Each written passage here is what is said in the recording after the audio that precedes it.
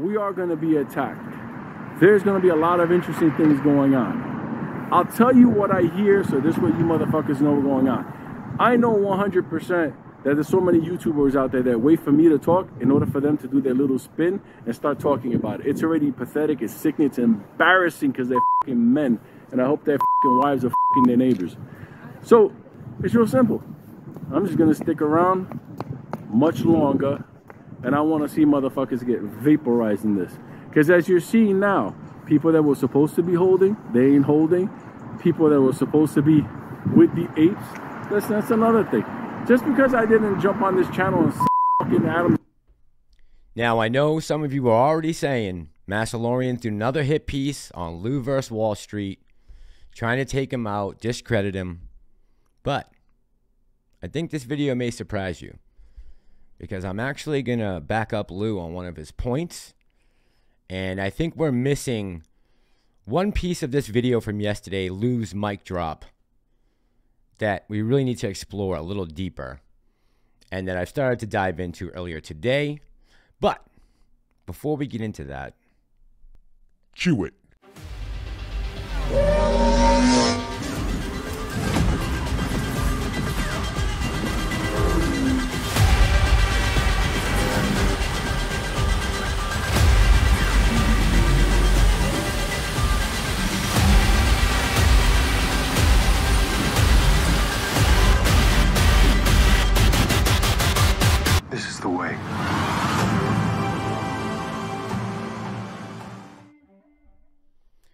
It took 11 months and 18 days, but as of about 24 hours ago, I think we have our first whistleblower. Ape Nation, good evening. It is Tuesday, January 18th, 2022, and uh, I pulled up this video from last night, Lou's mic drop video. I found something interesting in its contents. Now, I understand he made this because he was basically calling out some other YouTubers and saying this has been, you know, Lou's game from the jump. He's the only one that knows what's going on. And I'm not here to debate any of that. That's all debatable. Lou could be the greatest uh, financial guru of the AMC movement of all time when this is all said and over. I have no idea. But what I can tell you is I think people are missing a piece of this video that I've heard Lou talk about before, but he said it so many times now that I got to start looking into it a little deeper than I was previously. And I think it's important. I think you guys will understand where I'm coming from once we roll the film. Let's move past that. Here I am. I'm realizing that A, YouTube has a bunch of idiots. YouTube also has a lot of motherfuckers that for breadcrumbs, for nothing, you can pay them a couple of fucking hundred bucks and they'll sell their mother. Listen, I understand they're trying to get me to, you know, get agitated and quit. I actually got two things for you motherfuckers. Breaking news. One, I was offered straight out, face to face in a fucking bank, and I have somebody that could confirm it next to me. A fucking lot of money to deliver you motherfuckers to them, gift wrapped. Okay, let me say that again. I was offered. What do you want?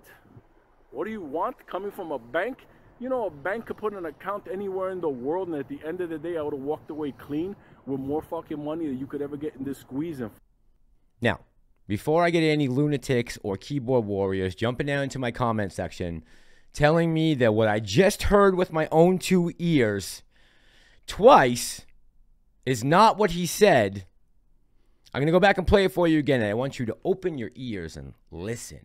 Take it all in. Get agitated and quit. I actually got two things for you motherfuckers. Breaking news. One, I was offered straight out, face to face in a fucking bank, and I have somebody that could confirm it next to me.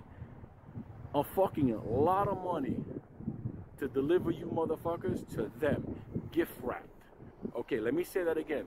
I... Now listen, he's gonna say it twice in case anyone is gonna say that I'm mischaracterizing or taking him out of context offered.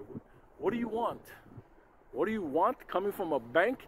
You know, a bank could put an account anywhere in the world, and at the end of the day, I would have walked away clean with more fucking money than you could ever get in this squeeze and five more. Let me tell you something. I didn't take that money. I didn't sell t-shirts, cups, or any of that bullshit. At the end, I stayed clean in this play. So I can talk to you and tell you things that. Now, I have to commend Lou. I think it's very admirable that he did not take any money from these banks. Uh, but what he says in the clip here does concern me a little bit. The fact that he knows that there are YouTubers out there who are taking crumbs from these banks, these same banks that are offering Lou exorbitant amounts of money to sell out the retail crowd to his millions of viewers. Uh, that concerns me. And the fact that I've heard this from Lou many times, but yet we've never heard anything about Lou taking action or Lou reporting this to anyone because this seems like, well, first of all, I would like to know what bank offered Lou absorbent amounts of money in front of a witness to sell out retail. Again, I say thank you, Lou, for not taking it, but I would like to know what did you do after that? Who is that bank? I could be banking with them. Half of your subscribers could be banking with them. Who is that bank? And who are they? They're so influential that they would try to get you to sell out retail for some undisclosed amount of money. I think it's important we get to the bottom of that. And I think it's something that maybe we can't leave to Lou's hands to do. He's very busy. So I'm going to take it upon myself to try to get to the bottom of who this bank is. So, from what I've been able to gather, this is going to come under the Internet Crime Complaint Center. It'll actually be an online tip and it will be for violations of federal law, financial crimes specifically. And it's definitely not going to file under Internet Crime Complaint Center because Lou's just doing what he should be doing. He's reporting it to retail, letting all of us know. But now I think we need to go a step further, determine who this bank is, how much of retail is banking with them, how much have they offered to what YouTubers that have possibly been going along with this whole managed event and possibly leading us down the wrong path and somehow cutting down the price of AMC in the last couple months. Who knows how many people could be involved? And I think until we get some tips and some information to the FBI about this thing happening, this event occurring, uh, we won't get to the bottom of it. We won't know. So this is something we have to follow up on uh, and see what the FBI can find out and see if we can determine who this bank is, how big of a role have they played in managing this event, this squeeze, and what is it going to take to put an end to what they may have been doing this whole time. All right, guys, I'm going to let you go for now. I'll be back with you tomorrow with uh, any updates that I possibly have. And I'll also have some other information that I'm looking up uh, about quantitative easing in the Fed back from 2008 that I found extremely interesting. You might as well.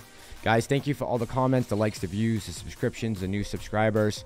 I'm going to answer all the comments by tomorrow. If you've commented the last couple of videos, I promise you will have an answer tomorrow. I apologize. This is Ape Nation. I'm the Massalorian, and I'm out.